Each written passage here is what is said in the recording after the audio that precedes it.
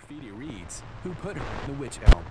Being a small town, we don't usually have to deal with vandalism, but this message is very specific.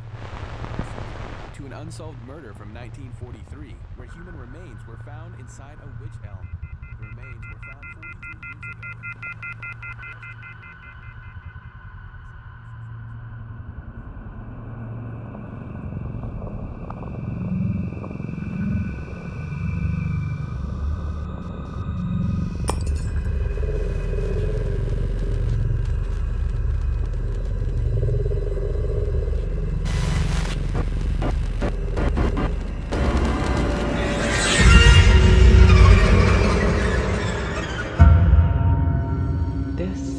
Place between places.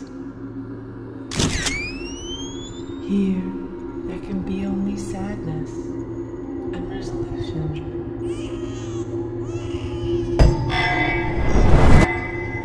This is where the lost are found.